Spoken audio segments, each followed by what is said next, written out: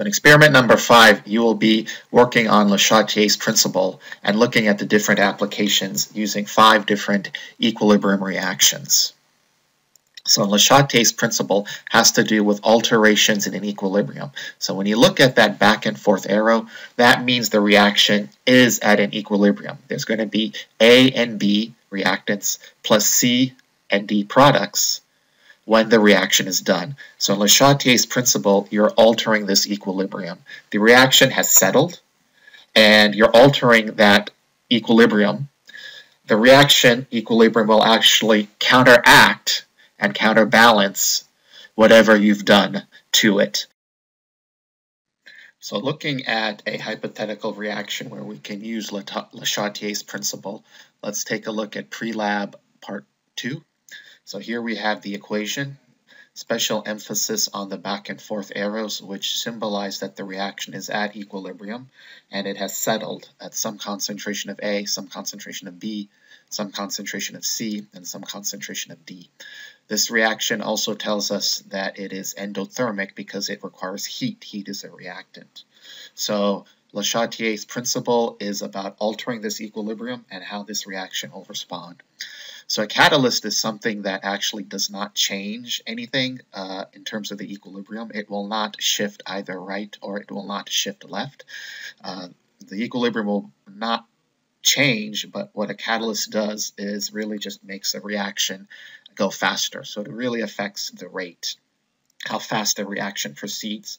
It will not make the equilibrium reaction shift left or right to counterbalance the effect. So that in essence is a catalyst. It does not shift the equilibrium either way. However, if you add or remove a product or a reactant, uh, then you'll see a shift in the equilibrium. So if you add C, what happens is the reaction will uh, counteract the addition, and the counter addition of the addition of C or D is to shift to the reaction where it will remove C and D, and that reaction is shifting to the left, to the reactant side.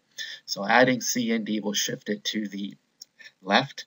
Um, removing C and D uh, will cause the reaction, the equilibrium, to shift to the right to sort of counteract, counterbalance, counter-prevail the alteration that was done to the equilibrium. Same thing with the reactants A and B. If you add A or add B, the reaction will shift to the right, so it'll make more C and D to counter negate or counteract the addition of A and B. And uh, likewise, if you remove A and B, the equilibrium will counteract that alteration by shifting to the left, making more A and B. Now, E and F have to do with heat, so this reaction is what we'll call an endothermic reaction because it requires the input of heat. So if you cool a reaction, in essence, you're actually removing heat. So when you remove heat, you are removing, in an endothermic reaction, heat as a reactant. So the reaction is going to shift to the left. Now, if you add heat by heating it, Okay, heat is a reactant in this endothermic reaction. The equilibrium will counteract that and shift to the right to remove that heat. So again, it's just a counterbalance to whatever alteration that you do to the equilibrium. In part three, we actually have an equilibrium reaction. Water plus acetic acid gives you an acid, H3O+, plus the acetate ion.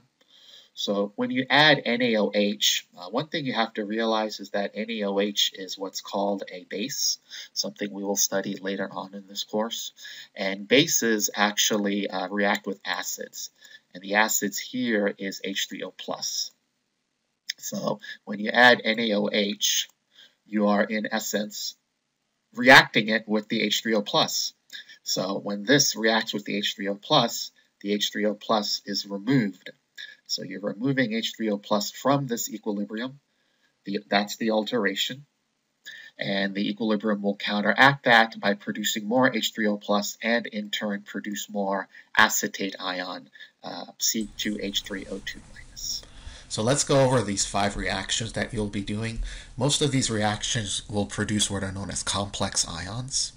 So our first reaction is iron plus uh, thiocyanate. uh, will give you this iron thiocyanate complex ion. So um, the nitrate and the potassium are spectator ions. They will not participate in this reaction.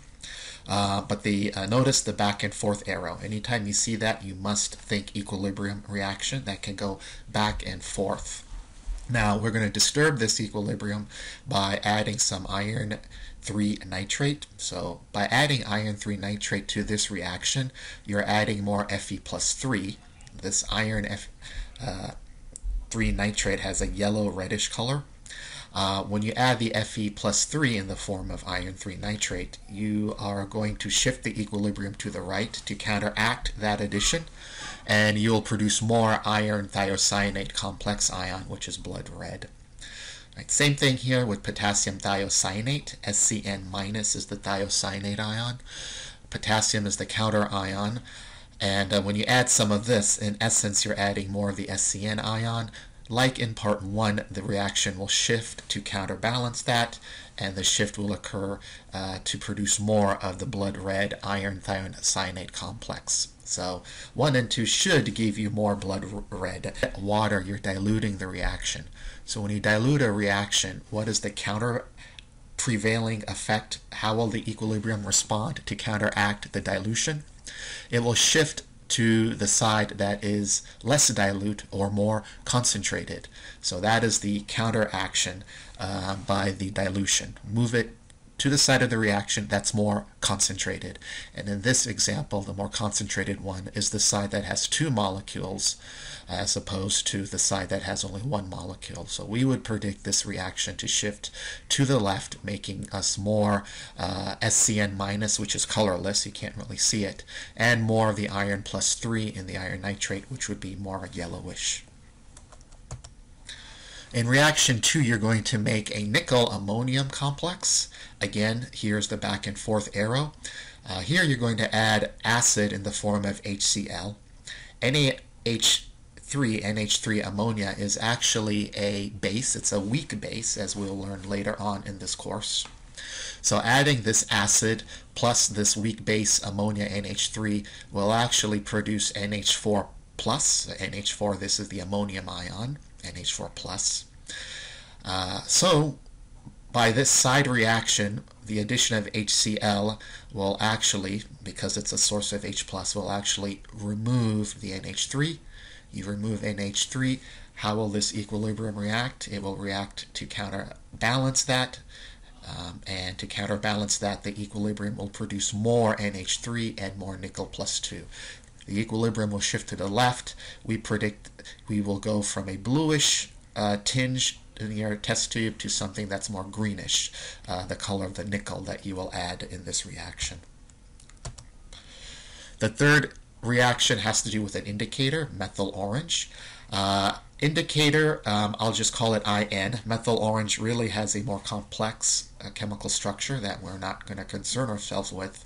Uh, the only equilibrium that we are uh, really that's going to be shown here is the um, addition of either a base in the form of NaOH or the acid in the form of HCl.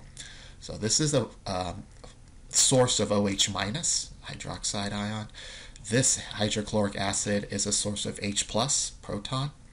This is the equilibrium at stake when you work with methyl orange. So the addition of OH minus should neutralize the H plus, essentially removing H plus from this equilibrium. The reaction will counterbalance that by making more H plus. We would expect the reaction shifting to the right and making more of the IN minus indicator minus, which which is reddish pinkish in color. Uh, the IN minus is the methyl orange indicator that has uh, lost a proton H+. plus. So now let's see what happens when you add HCl, uh, which is um, an acid. When you add HCl, you're essentially adding more H+. plus. So how will the equilibrium counterbalance that addition, that alteration? It will do so by shifting the reaction away, the equilibrium away from H plus to counterbalance the addition. And so we would predict the reaction equilibrium will shift to the protonated indicator of methyl orange, giving us an orange color. This is reaction four. You're going to actually make calcium hydroxide precipitate uh, by mixing these two aqueous solutions. And then you're going to do a gravity filtration, collect some of that white precipitate.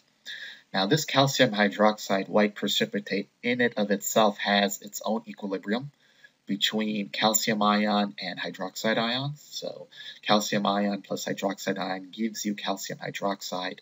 However, some of that solid can dissociate.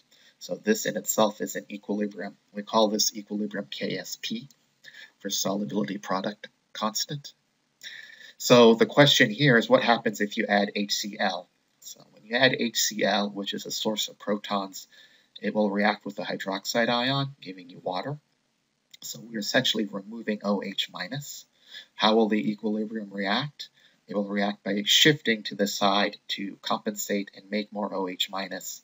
So we would predict that adding an acid will shift this reaction to the right, making more calcium ion and hydroxide ion, in essence dissolving the solid. Adding a base, which is a source of OH minus, will do the opposite. So when you add a base, what essentially happens is you're adding more OH minus. How will this equilibrium compensate that alteration of the OH minus addition? It will do so by going and shifting to the side that has less OH minus. We would predict that adding OH minus will shift the equilibrium reaction to the left, making more solid. So the acid will dissolve the solid, the base will reprecipitate uh, or precipitate more of the solid. Finally, in this last reaction, you're going to make a complex ion with cobalt and chloride. So here's your complex ion. Again, it's worth emphasizing. Look for the back and forth arrow. That tells you you're dealing with an equilibrium reaction. And in this case, you have to um, figure out uh, whether this equilibrium reaction is endothermic. In this case, the delta H will be positive. Or here at the bottom, exothermic, where heat is a product in this case, um, the heat will be as a product as mentioned before, but your delta H will be negative. Like before, when you dilute anything, the equilibrium will shift to the side that's more concentrated. So the more concentrated side will be this, the cobalt ion and the chloride ion. The cobalt uh, that you will add, I believe it's cobalt nitrate, has a reddish color. The complex ion is kind of bluish greenish in color. So adding water, we would predict, will shift dilution will shift the equilibrium to the side that's more concentrated. Now, is this reaction endothermic or exothermic? Well, to answer that question, uh, you're going to put this test tube in a boiling water bath and um, look at the color change. Now, if this reaction is indeed exothermic, heat is evolved, when you add heat, essentially you're going to add more of the product if it is exothermic. And uh, so the equilibrium will counterbalance that by shifting to the left, making something that's more reddish. Or if you uh, if this reaction is endothermic and you remove heat, this reaction will shift to the left as well, making something that's more reddish. Uh, so in this um, experiment, you're actually going to uh, do a boiling water bath and do an ice bath. So putting the test tube in boiling water and putting the test tube on ice.